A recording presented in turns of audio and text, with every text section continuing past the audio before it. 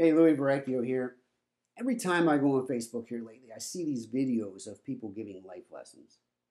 And it occurred to me in the middle of the night last night that I just might have something of value to offer, in particular to younger men. Look, guys, there are some things about a woman that you just cannot know until you sleep with her. And I mean, trying to get a good night's sleep with her in the same bed.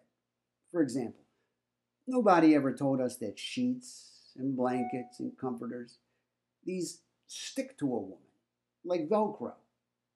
Guys, at night, we lay in bed, we roll a little bit, right? But the bedding still pretty much stays where it belongs.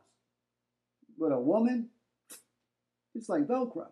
And so when she starts rolling, everything just starts going. It's kind of like they're the key in the lid of a sardine can, and you start turning it, and the lid just peels away.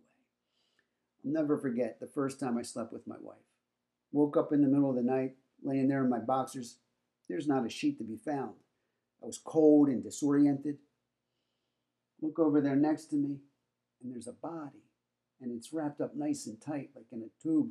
So confusing. It was like the mob had come over and whacked her while we were sleeping. I seriously thought about throwing her in the trunk of my car and getting the hell out of there. But now, after 30 years of marriage, I know what happens. It wakes me up sometimes. I'll be laying there at night and the covers start moving. She's rolling.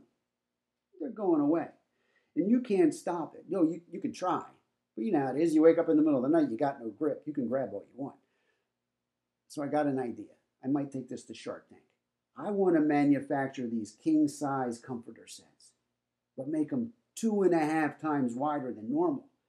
And if you make the bed where you put that big pile of extra on the floor next to the guy, maybe at night, if she starts rolling, it'll be just enough to keep the guy covered until morning.